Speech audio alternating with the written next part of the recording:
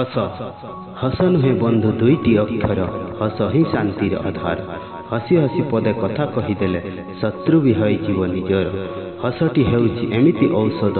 ଶରୀରଟା ସୁସ୍ଥ ରହେ। ହସି ହସି ବନ୍ଧୁ କଥାବାର୍ତ୍ତା ହେଲେ ବିପଦ ଦୂରେଇ ଥାଏ। ହସି ହସି ଯଦି କଥା ପଦେ କହିବା ସଭିଏଁ କରିବେ ଆଦର।